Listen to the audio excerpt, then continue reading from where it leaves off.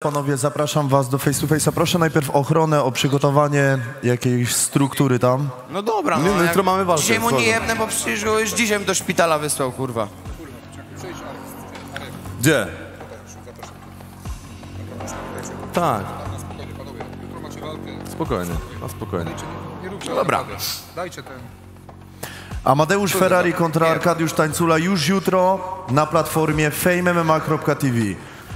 Moim zdaniem jest to jeden z najfajniejszych main eventów, jakie mamy obecnie w tym roku. I nie ukrywam, że ta walka i walka Szeliga Brzosek to dwie walki, na które najbardziej czekam. Amadeusz Ferrari kontra Arkadiusz Tańcula już jutro. Do zobaczenia na Fame MMA TV lub w krakowskiej Tauron Arenie.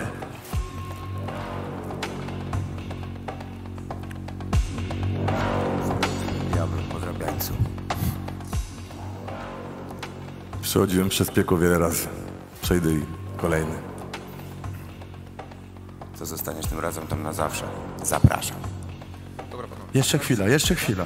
Tak. Arek, mam takie ostatnie osobiste pytanie. Czy naprawdę Amadeusz nie wszedł ci do głowy ani w jednym procencie? Nie, walka to jest co innego.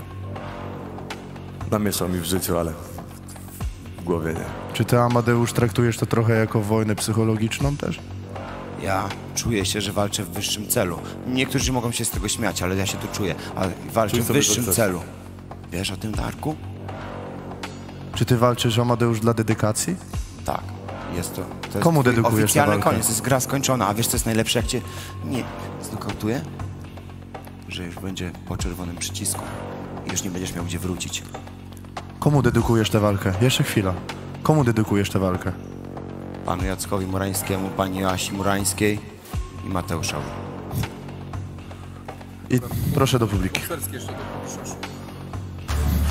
Amadeusz Ferrari kontra Arkadiusz Tańcula jutro na Fame TV.